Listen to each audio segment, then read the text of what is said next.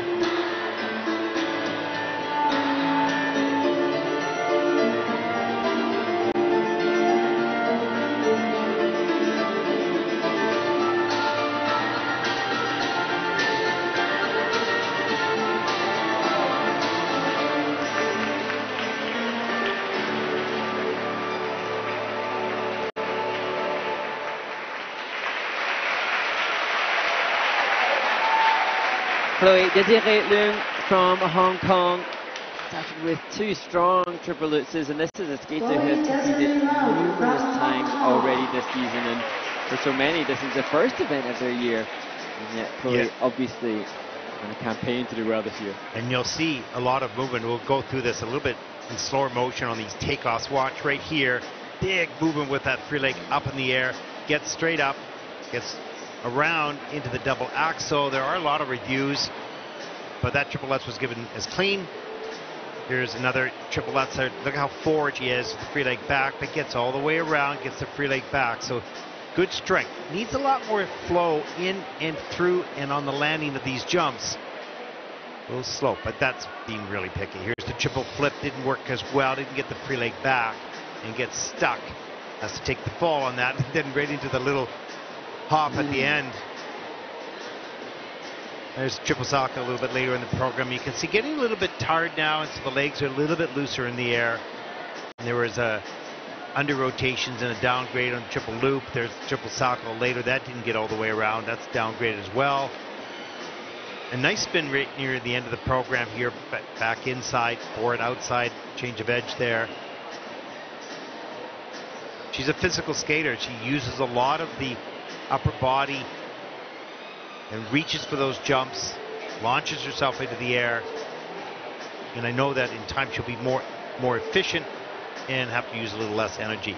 Great technique is physically easier than the, yeah. you, you, know the great skaters are not necessarily the strongest skaters or great jumpers pardon me not necessarily the physically strongest they just have the best technique